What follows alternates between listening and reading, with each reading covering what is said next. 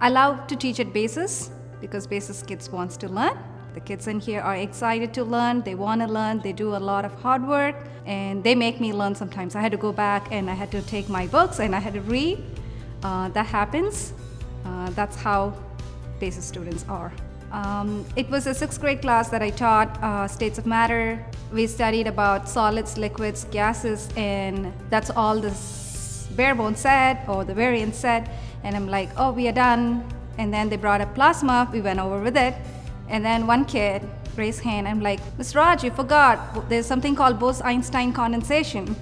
And I'm like, cool. It's a sixth grader to, to think about a Bose-Einstein condensation. That is amazing. That leads me to bring in more ideas into the classroom because they are eager to learn there.